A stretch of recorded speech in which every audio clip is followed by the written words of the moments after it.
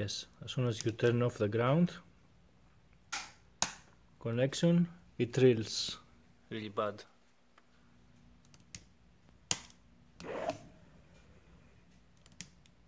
So make sure you have a good ground connection that you won't hear that whine.